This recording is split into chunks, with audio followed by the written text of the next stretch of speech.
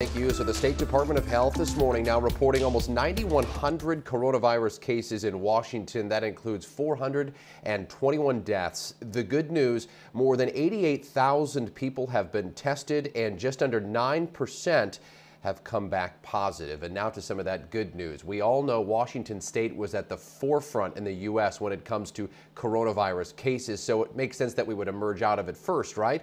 One ER doctor I spoke with says that's happening right now.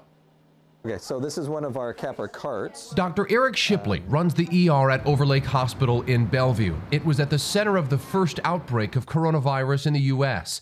But today, he's delivering some welcome news. So about three to four weeks ago, I was uh, uh, cautiously optimistic, and then now I'm much more optimistic. Today, Shipley says ER volumes are down 30% at Overlake. The initial tsunami kind of came, and we kept looking for that next wave, and you keep looking each day, and each day you don't see it, and you feel a little bit more confident. Four weeks ago, we had 10 nursing homes with COVID positive patients, and we expected every one of those to erupt, similar to what we saw in Kirkland, and uh, we didn't see that. He credits nursing homes with isolating COVID 19 patients quickly and preventing another major outbreak. Also, faster testing for the virus is making a big difference. We went from five days of testing, which was brutal, to one 24 hour period to now we actually have some testing for two hours and 45 minutes, which is such a big deal. It may be hard for you to believe all the good news, but Dr. Shipley is just as surprised. Even when I tell my neighbors that we're not busy, if you have serious illnesses, come, their answer is no, no, I know you're busy.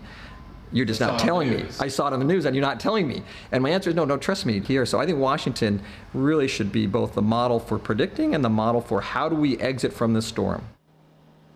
Yeah, interesting. He says that he's been speaking with a lot of other ER directors who are saying the same thing. The big message to Mimi is that he's seeing ER levels so down because a lot of people who are having heart attacks and strokes may not be coming to the ER for fear of COVID 19. Mm. He wants patients with those other ailments to come to the ER because there's actually space. And real quick, I asked him, are you prepared if there's another surge of the virus? He says uh, he's downplaying the fact that that's going to happen, but says they are all stocked up on masks and PPE and staff, and they're ready if something happens.